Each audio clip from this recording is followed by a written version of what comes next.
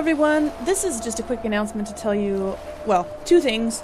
Uh, the first one is that I'm going to be gone on a trip for four days, starting this Friday, the 27th, and I won't be back until late night on Monday, the 30th.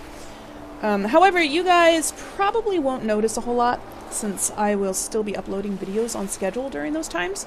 I just won't be available to reply to comments, except, um, well, probably in the evenings. So, if you comment a lot and are used to me replying pretty quickly, you'll probably notice, but if you don't comment often, then you probably won't see any difference at all.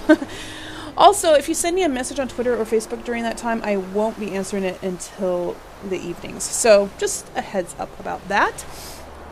The second thing I want to tell you all about is a small change to my upload schedule, but I think it's a better one. Basically, what I'm going to be doing, starting immediately, is switching the time slots for the week's first episodes of Skyrim and Mass Effect. Currently, Mass Effect is uploaded on Tuesdays and Skyrim on Wednesdays, but they will be switching places permanently. So, Skyrim will now be on Tuesdays and Mass Effect on Wednesdays. The last two in the week will remain where they are.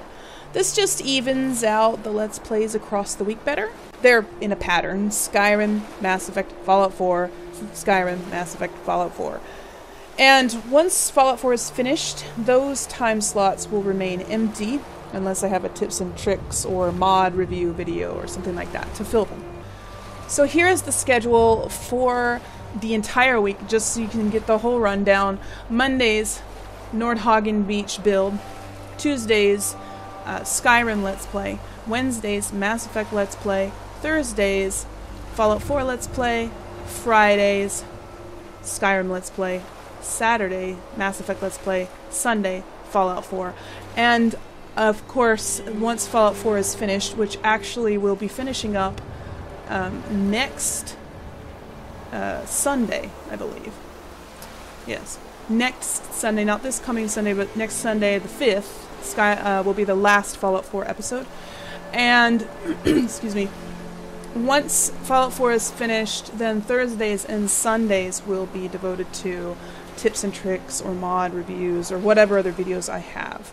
Alright, that is all I wanted to tell you guys. So, I'll see you in the next video, and until then, remember to play safe, play nice, and have fun.